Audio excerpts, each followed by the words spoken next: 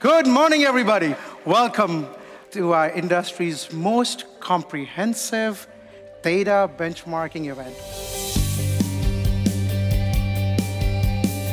It's huge for us, so it sets goals. It um, gives us an idea of what we should be striving for and what are we measuring against. We're going to hear from the top industry experts, and all of them are going to help us break down the newest consumer, financial, and operational numbers. The NACS SOI talks big metrics, measuring our performance compared to the best in the industry, the others in the industry. It's all about what's going on in our industry, what the trends are, I don't know if we'd still be in the business if we didn't have the opportunity to come to the NACS SOI and understand the different nuances of not only where people are at, but how they got there. You are now in control of your future, and so change is possible if desired. Let's not stall and stay where we are, but let's move forward.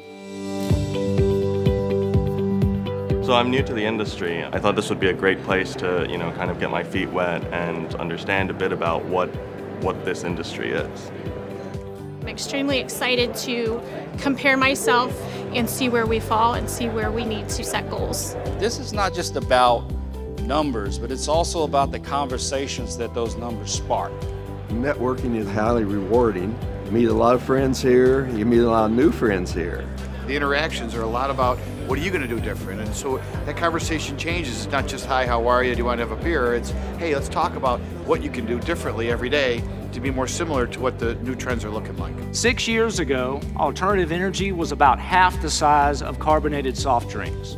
It is now 84% of the size of carbonated soft drink sales. The quality of the speakers are really top notch. They're very entertaining, very inspiring, very current. What are the peripheries at which you and your team need to pay attention that could be threats or opportunities in the future?